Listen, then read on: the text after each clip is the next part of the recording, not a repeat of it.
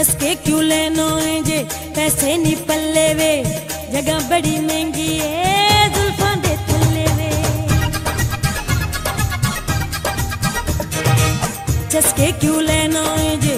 पैसे नहीं पल्ले वे। जगह बड़ी महँगी